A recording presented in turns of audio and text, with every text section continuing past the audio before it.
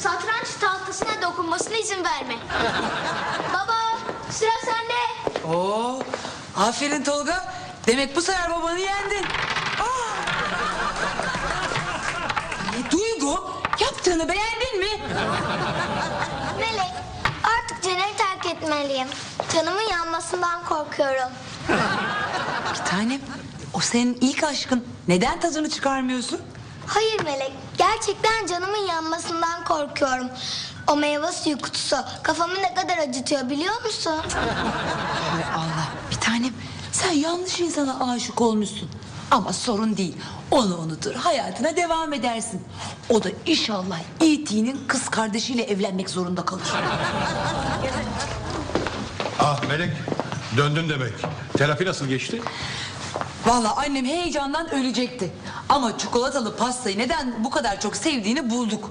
Köfteye olan düşkünlüğü içinde ninemin kasap sevgilisini suçladık. Kabul et baba. Seni iki hamlede yendim. Mahvoldun. Bittin. Satrancı öğren de gel. Şah ve mat. Bu tahtaya kim dokundu? Ee, kazanılmak üzere olan pek çok savaş saraylardaki kadınlar yüzünden kaybedilir Tolga. Aslında annemi suçlamamam gerekirdi.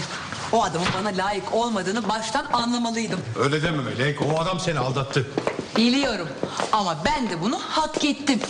Bir kadın senin gibi ince ruhlu gerçek bir beyefendiyi tanıdıktan sonra başka birini düşünmemeli bile. Şey, elbette ben de birileri tarafından beğeniliyorumdur herhalde. Aman canım eminim herkes can atıyordur. Hatta Suzan Hanım can çekişiyor. Ömer Bey sana bir şey söyleyeyim mi? Psikoloğum bana bilinç altında bir ilişkimden kaçındığımı söylüyor. Ah çok komik. Var mı öyle biri? E ben de onu söylüyorum ya. İşinde başarılı, yakışıklı, çekici birinin kokusunu ben bin kilometre öteden alırım.